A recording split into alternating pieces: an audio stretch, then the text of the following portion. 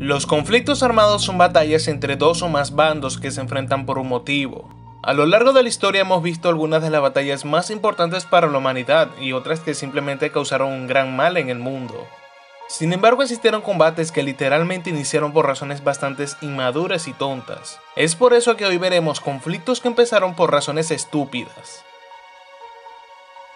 La Guerra de los Pasteles fue un conflicto entre México y Francia desde el 16 de abril de 1838 hasta 1839.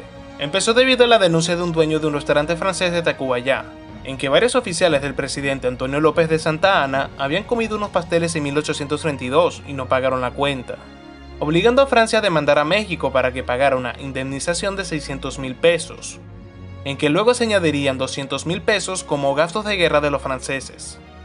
Debido a esto y a que un ciudadano franco fue acusado de piratería y luego fusilado en Tampico, causó un conflicto armado de 38 bajas y 85 heridos para Francia, y 95 bajas y 129 heridos para México que posteriormente perdió y tuvo que pagar la suma de dinero. Sin embargo no tuvieron que pagar los gastos de guerra de los franceses. La Guerra del Cubo durante el año 1325 ocurrió una gran batalla entre las ciudades-estado de Bolonia y Modena en la región de Emilia-Romana comenzó una lucha que duró más de 300 años, teniendo unas bajas de 1500 soldados para Bolonia y 500 para Modena. Todo comenzó debido a que los modeneses robaron el balde del pozo principal de los boloñés. Y aunque es una razón bastante tonta para comenzar un conflicto tan grande que duraría tanto tiempo y afectaría tanto a ambas ciudades-estado, este fue el que inició todo ya que ambos tenían constantemente tensiones que podrían desembocar en batallas y llegaron a tener la batalla de Sapolino, que es una de las más grandes que tuvieron los guelfos y los gibelinos. Al ser un conflicto armado tan ridículo, fueron escritas poemas y canciones por los poetas de aquella época.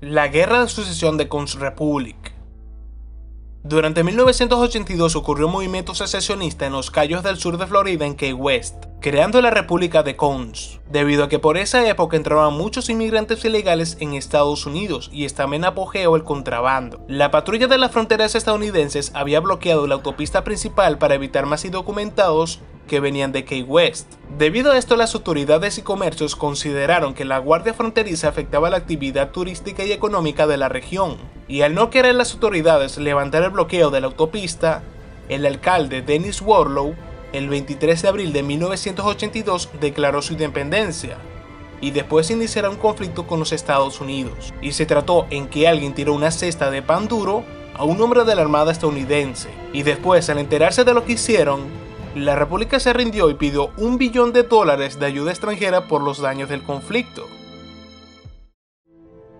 La batalla de Caransebes fue una vergonzosa batalla entre el ejército austriaco por un trago de alcohol, que desencadenó en una gran batalla entre aliados en que se estima que tuvieron mil bajas y se remonta durante la guerra entre el imperio austriaco y el otomano. El ejército de Austria tenía 100.000 soldados que se habían dirigido a la ciudad de Caransebes para acampar antes de la invasión.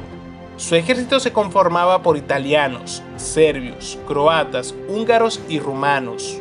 Además de que la gran mayoría no hablaba alemán, dificultando la comunicación y el recibir órdenes. Al llegar a la zona un grupo de usuarios que tenían la misión de explorar la zona y de eliminar cualquier enemigo, se encontraron con un grupo de gitanos que vendían aguardiente. Les compraron varios barriles mientras esperaban los refuerzos. Después llegaron varios soldados de infantería que pidieron un trago de la bebida. Los usuarios no les dieron nada y se armó una disputa que terminó con un tiro al aire.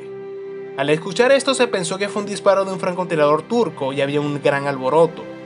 Los austriacos intentando poner orden gritaban alto, sin embargo los soldados pensaban que decía Alá, haciéndolos ver como el enemigo turco, y el caos se empeoró.